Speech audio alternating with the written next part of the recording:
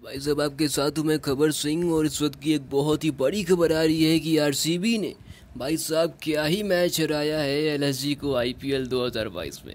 मतलब कि एलिमिनेटर मुकाबला था और भाई यार, हार हार गए एलएसजी वाले। के राहुल की तारीफ़ करनी पड़ेगी भाई साहब, के राहुल की तारीफ़ करनी पड़ेगी।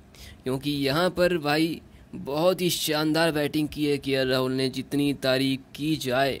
उतनी कम है भाई, उतनी कम है। क्योंकि यहाँ पर के राहुल ने अकेले अपने दम पे पूरे मैच को बनाए रखा, लेकिन अंत में जो बल्लेबाज हैं, बहुत ही बेकार बल्लेबाजी की। बहरहाल यहाँ पर बात करते हैं।